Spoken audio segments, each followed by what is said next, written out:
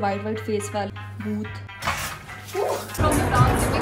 यार मैं एक चीज़ सोच रही हूँ कि इस पूरे रूम में मुझे आज अकेले रहना लाइक देख रहे हो आप? मुझे अकेले रहना और मेरी हाय गाइस तो ये मेरा फ़र्स्ट एक्सपीरियंस होने वाला है सोलो ट्रिप का तो मैं जाने वाली थी यूट्यूब इवेंट पे, वो भी बिल्कुल अकेले। ऑल्सो ये मेरी लाइफ का सबसे पहला फ़्लाइट होने वाला था, क्योंकि मैंने इससे पहले कभी भी फ़्लाइट में ट्रैवल नहीं किया। एक पॉइंट तो ऐसा है कि मैंने सोचा कि मैं नहीं जाने वाली हूँ बट मेरी सिस्टर ने मुझे बहुत ज़्यादा हाइप किया सपोर्ट किया कि हाँ तुम कर सकती, तुम अकेले ट्रैवल कर सकती हो। और इससे पहले मैं अकेले इतनी दूर अपने घर से कभी भी अकेले ट्रैवल नहीं किया इसीलिए मैं थोड़ा और डर गई थी और नर्वस भी थी। और फ़्लाइट में जाने से पहले जितनी भी चेकिंग होती है, उसकी पूरी इन्फॉर्मेशन की वीडियो मैंने यूट्यूब पे पहले से ही देख ली थी। लेकिन होता है ना कि हम एग्ज़ाम देने से पहले कितनी भी तैयारी कर ले बट जब तक हमारा एग्ज़ाम नहीं हो जाता तब तक हमें डर लगता है। तो सेम वही हालत मेरी भी हो रही थी। ओके गाइस तो मैं गोरखपुर एयरपोर्ट पे पहुँच चुकी हूँ एंड जिसके पास टिकट होता है सिर्फ़ उसे अलाउ होता है अंदर आना। बाकी जो मेरी दीदी थी और मेरे पापा थे वो बाहर ही थे। एंड यहाँ पे हो रही है मेरी बैग की चेकिंग एंड जैसा की मैंने आपसे बोला था कि मैंने पहले यूट्यूब पे देख लिया था कि हम स्टेप बाय स्टेप कैसे सब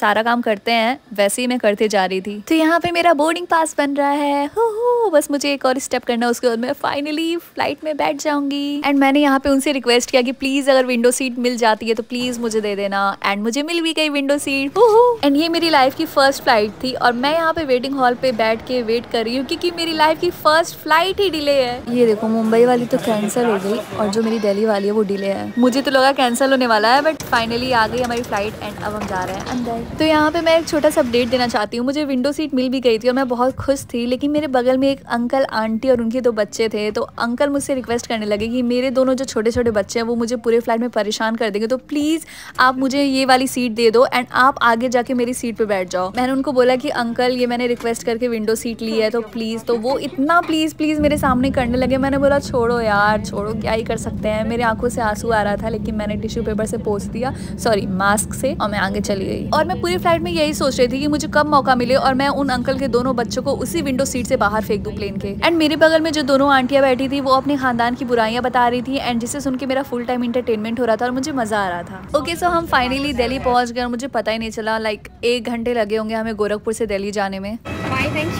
ओके सो फाइनली हम दिल्ली एयरपोर्ट पे आ गए एंड ओ माय गॉड ये एयरपोर्ट इतना ज़्यादा बड़ा था लाइक like, जितने भी ब्लॉगर यूट्यूबर्स की मैंने वीडियो देखी थी वो सब कह रहे थे कि दिल्ली एयरपोर्ट इतना बड़ा है ना कि आप कंफ्यूज हो जाओगे। एंड ये तो मेरा फ़र्स्ट टाइम था तो मैं सोच रही थी यार जाऊँ तो जाऊँ का एंड मुझे पता भी नहीं था कि यहाँ से वो टर्मिनल तक बस से छोड़ेंगे तो वो बस वाला हॉर्न दे रहा था कि, मैडम, आ जाओ अंदर, ऐसे अलाउ नहीं है। तो मुझे लगा तो पहले तो मुझे किडनैप करेगा या फिर कहीं और छोड़ देगा तो बट बाद में उसने बोला कि, मैम, बस से ही जाना अलाउ है। बैग लेने में मुझे इतना टाइम लगा। पहले तो मैंने सोचा, यार, मेरा बैग कहीं खो तो नहीं गया। लाइक मैं पंद्रह मिनट से वहाँ खड़ी थी।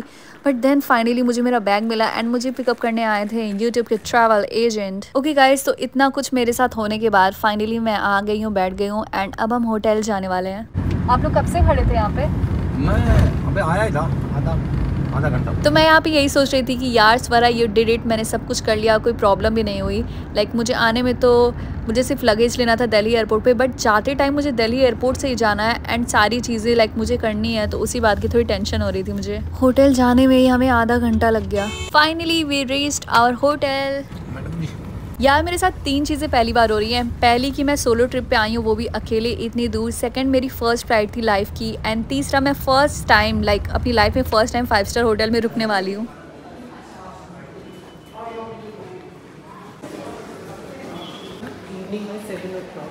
Breakfast will be part of package starting from 6.30 to 10.30 in the 19 level restaurant. Apart from that, whatever the services you. Okay so मेरा फ्लोर है थर्ड एंड यहाँ पे इतनी ज़्यादा शांति है बट ये होटल मुझे काफ़ी ज़्यादा खूबसूरत लगा। बट यहाँ पे इतनी शांति है एंड मुझे यहाँ पे कोई दिख भी नहीं रहा है। एंड जो मेरा रूम है वो एकदम लास्ट में वो जो फ्लावर पॉट आपको दिख रहा है ना, वहाँ पे है मेरा। हाय गाइस तो मैं फिर से आ चुकी हूँ दिल्ली एक यूट्यूब इवेंट के लिए। एंड अभी मुझे होटल आए हुए पाँच से दस मिनट हुए होंगे लाइक होटल में रिसेप्शन पे चेक इन वगैरह हुआ, मैं इस रूम को तब से देखे जा रही हूँ। नॉट ओनली रूम मतलब ये पूरा होटल आपको बाहर का एरिया भी दिखाऊँगी कॉरिडोर का एरिया इतने अच्छे से इन्होंने डेकोरेट किया हुआ है ना लाइट्स वगैरह ओ my god I love lights और मतलब इस रूम में ना एकदम रॉयल वाली फीलिंग आ रही है, जब मैंने एंटर किया, उन्होंने टीका वगैरह लगाया, वो तो मैंने इरेज कर दिया, क्योंकि उन्होंने बिंदी की तरीके से लगाया था। मैं आपको इस रूम का बहुत अच्छे से टूर देने वाली हूँ एंड मुझे होटल आए हुए काफ़ी टाइम हो गया है एंड मैं सुबह से जगी हूँ, मैंने कुछ नहीं कहा, मुझे बहुत ज़रूर की भूख लग रही है। ओके सो अब आ रही है रूम टूर की तो हम यहाँ से एंटर करते हैं एंड यहाँ पे वो चेयर है जहाँ पे अभी मैं आपसे बैठ के बातें कर रही थी। देन यहाँ पे एक आता है बेड जो की दिखने में भी काफ़ी ज़्यादा कम्फी एंड सोने में भी काफ़ी ज़्यादा कम्फी था। इतने ज़्यादा पिक्चर्स लगे हुए हैं देखो, आप खुद ही देखो। ये रहा हमारा बेड एंड जैसे ही हम यहाँ पे एंटर करेंगे, हमें मिलेगा ये। अपनी कॉफ़ी पी सकते हैं टी पी सकते हैं एंड यहाँ पे बहुत सारे सैशे भी पड़े हैं। लाइक के मिल्क का शुगर बहुत सारे शुगर यहाँ पे पानी रखा हुआ है बॉटल एंड यहाँ पे भी ऐसे पिक्चर्स लगे हुए हैं पोर्ट्रेट लेंगे। तो हमें मिलेगा एक छोटा सा फ्रिज नथिंग ओके मैं इसमें एक पानी रख देती हूँ यार। यू नो मुझे प्यास लगी हुई है तो मैं ठंडा पानी पीने वाली हूँ। मैं यहाँ पे रख देती हूँ। तब तक ये ठंडा हो जाएगा। पर हमें मिलेगा ये व्यू तो नॉर्मल सा व्यू है, बाहर। एंड ये रहा हमारा टेबल यहाँ पे हमारा वर्किंग एरिया है। यहाँ पे अगर हमें कुछ काम करना है, वैसे मुझे, मैं काम तो करने आई नहीं हूँ। तो ये रहा वर्किंग एरिया लाइक अगर आप आते हो तो बैठ सकते हो। एंड देन इसके अंदर क्या है? तो मैंने देखा ही नहीं।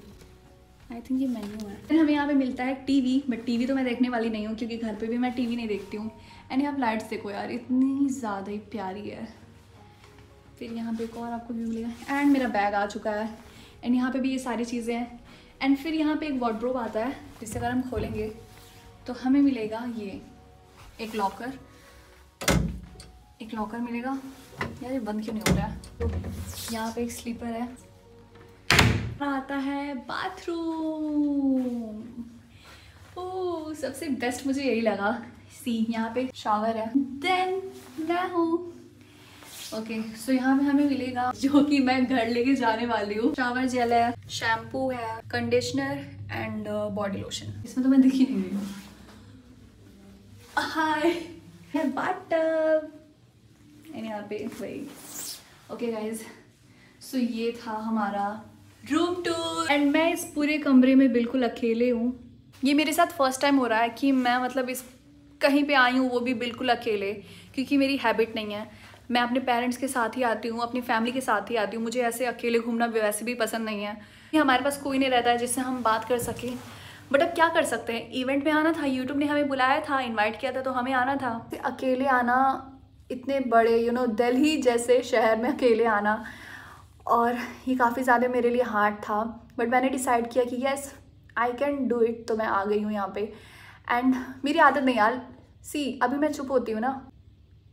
सी एक चिड़िया की आवाज़ भी नहीं आ रही है मेरे रूम तक। तो मुझे इतनी शांति पसंद नहीं है।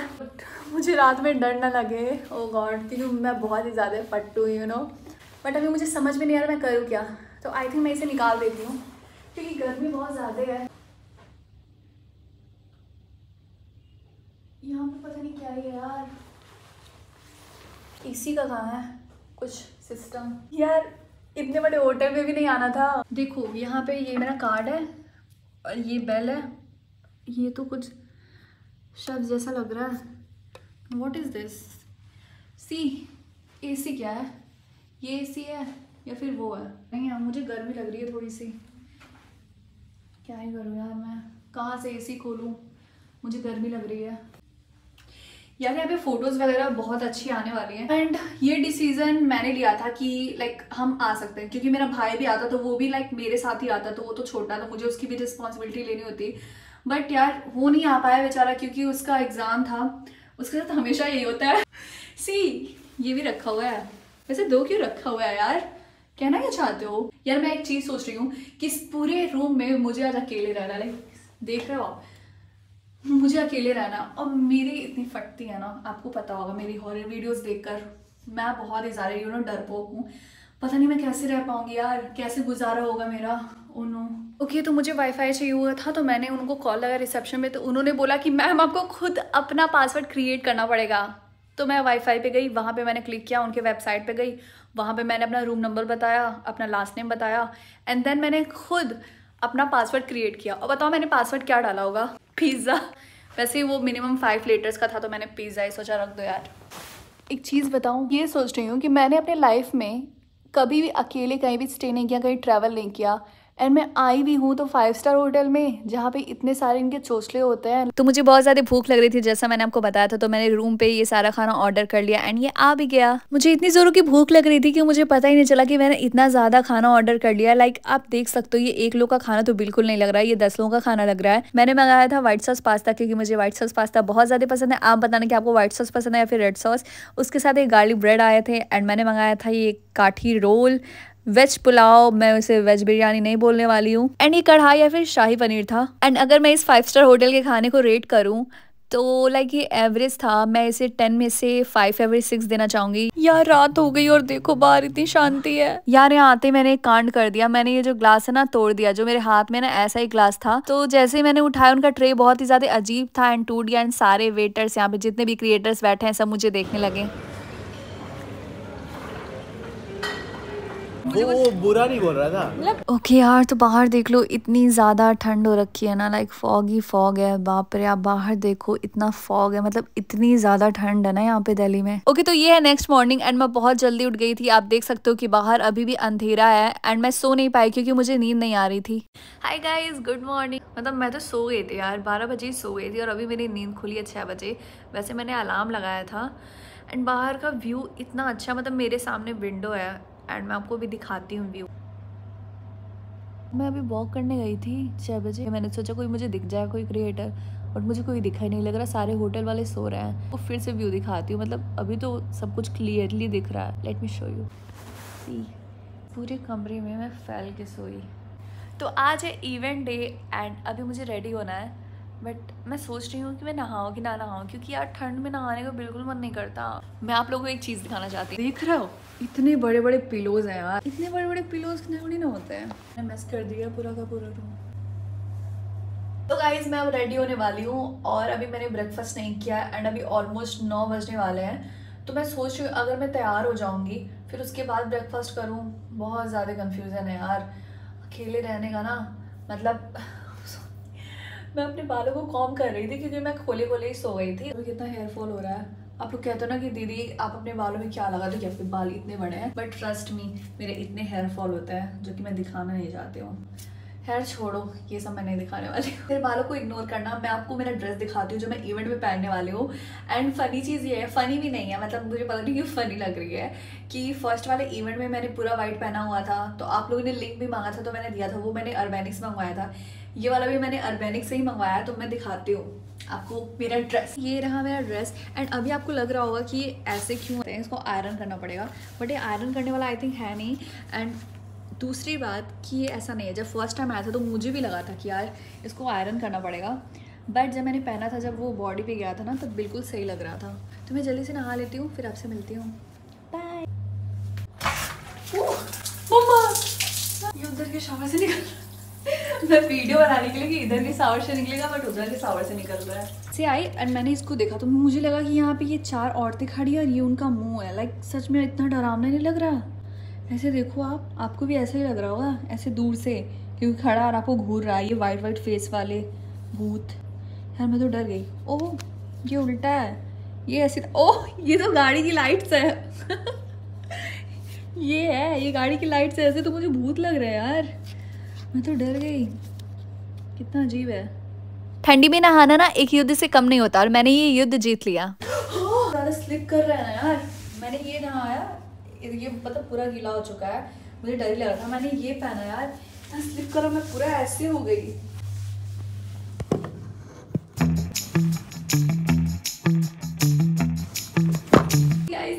रेडी हूँ या मुझे मेकअप करना नहीं आता। तो मेरे से जितना हो सका मैं उतना तैयार होने की कोशिश कर रही हूँ। आई डोंट नो मेरी शक्ल कैसी लग रही है? बट जो भी हो है छोड़ो। आपको बताइए ड्रेस कैसी लग रही है? मैं थोड़ी सी मोटी हो गई हूँ। मैंने कोट ऊपर से डाल लिया। मेरा प्लान नहीं था इसको पहनने इसके ऊपर बट मैंने ऐसे पहना तो मुझे अच्छा लगा। ठंड भी है। मैं बाद में इसे निकाल दूँगी बट खैर, आप बताओ, कैसी लग रही हूँ? मैं पूरी रेडी हूँ और ये है मेरा फुल लुक सैंडल मैंने पहना है ब्लैक लाइटिंग नहीं आ रही है। और लाइट का नाम लेते ही लाइट भी भाग गई। टाइज भी बिल्कुल रेडी और मैंने सारा ब्लैक ब्लैक पहना हुआ है। एंड ये रहा मेरा बैग और हाँ अब चलते हैं नीचे। लेट्स सी क्या होता है। सब यहाँ पे बैठ के ब्रेकफास्ट कर रहे हैं और मैंने कुछ खाने वाली क्योंकि मैंने जो सुबह कॉफ़ी बनाई थी ना उसको पीने के बाद मेरे पेट में कुछ अजीब सा हो रहा है। तो मैं पी रही हूँ पाइन जूस सो फाइनली हमारी कैब आ चुकी है अब हम जाने वाले हैं जहाँ पे इवेंट होने वाला है उस लोकेशन पे। ठीक है? स्टार्ट स्टार्ट अरे आज गूगल का इवेंट है इंडिया में दिल्ली में। तो यार तो आई गेस दो तुम मेरा ऐसे हाँ तुम भी ऐसे मैंने ब्लॉग कर रहे हो कर रही हूँ साथ में जल्दी से एक बार then you can come back here okay अभी तो ये पूरा खाली है धीरे धीरे क्रिएटर्स आएँगे हम ही सबसे पहले पहुँच गए starting very shortly sharp at 12 we request you to kindly proceed to the main hall and take your seats thank you YouTube की तरफ़ से हमें एक छोटा सा गिफ्ट मिला है, जिसमें हमें मिली है डायरी जिसमें मैं कुछ नहीं सो गाइज़ यहाँ पे पहले गूगल का इवेंट हो रहा है, उसके बाद यूट्यूब का होगा एंड जिसको मैं देखने के लिए आई थी एक्साइटेड थी, वो थे सीईओ ऑफ़ गूगल सुंदर पिचाई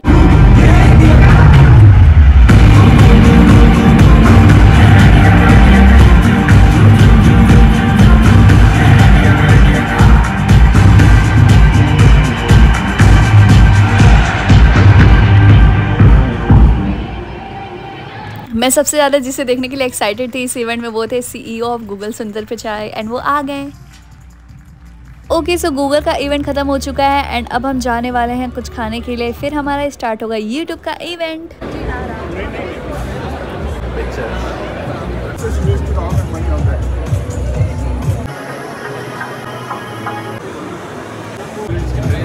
बस यही करो, तुम मेरी जॉब छीन लो सारे मिलके। सच्ची बता रही हूँ दावेदी राघव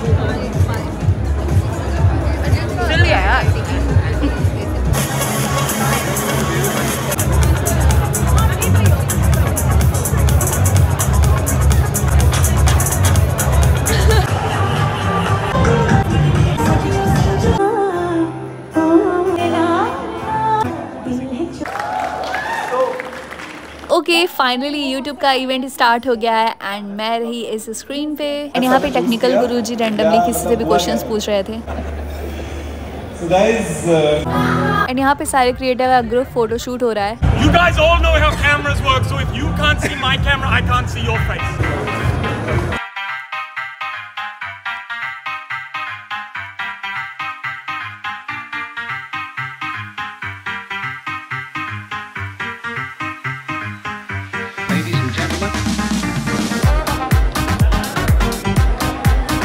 अंधेरा हो चुका है। लाइक अभी पाँच ही बजे हुए थे बट बाहर एकदम अंधेरा हो चुका है। पीछे वालों को और मज़ा आ रहा है यार बाहर इतनी ज़्यादा ठंडा मेरे पैर पे तो बहुत ठंड लग रही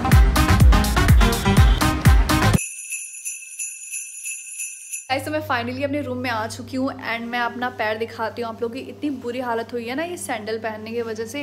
ऐसे कट गया एकदम रेड हो गया। रुको मैं आपको दिखाती हूँ। कैसे रेड हो गया। सैंडल की वजह से। सी तो फाइनली मैं अपने रूम में आ चुकी हूँ एंड मेरा रूम बिल्कुल क्लीन है। जैसे मैंने छोड़ के गया था उन्होंने क्लीन कर दिया। एंड मेरे पैर की हालत इतनी ख़राब है ना वहाँ पे कैसे तीन से चार घंटे खड़ी थी सिर्फ़ मैं ही जानती हूँ। मतलब एकदम ख़राब हो चुकी है हालत। लास्ट टाइम भी जब मैं इवेंट में आई थी तब भी मेरे साथ यही हुआ था एंड इस बार भी यही हुआ। मतलब same mistake oh my god बाहर इतनी ठंडी है मतलब मैंने तो इतना शॉर्ट्स पहना हुआ था तो मेरे पैर में मैं बता नहीं सकती हूँ इतनी ठंड लग रही थी। हाथ में तो बिल्कुल नहीं लग रहा था बिकॉज़ मैंने पूरा कवर किया हुआ है। नो दिस पार्ट क्योंकि मैं बाथरूम में बना रही हूँ क्योंकि और कहीं जगह नहीं है लाइक like, मैं ऐसे करती हूँ मेरा फेस काफ़ी ज़्यादा बड़ा आता है इसलिए मैं ऐसे बना रही हूँ थोड़ा अच्छा भी लग रहा है बट उसको उस पार्ट को इग्नोर कर देना तुम लोग। ओके तो यार guys thank you so much for watching this blog I hope आपको ये ब्लॉग पसंद आया होगा। मुझसे जितना हो पाया, मैंने उतना आप लोगों को दिखाने की कोशिश की।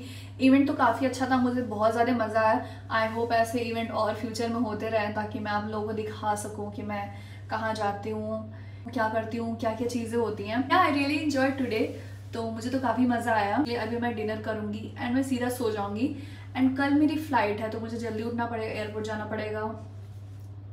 That's it so yes thank you so much for watching this blog अगर आपको ब्लॉग पसंद है उस वीडियो को लाइक करना, हमारे चैनल पे अगर न्यू हो तो हमारे चैनल को सब्सक्राइब करना। मिलते हैं हम आपको नेक्स्ट वीडियो में, तब तक के लिए बाय